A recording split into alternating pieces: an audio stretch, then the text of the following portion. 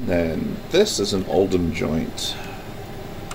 It lets the lead screw move around, but it's still firmly connected. Um, there's no play.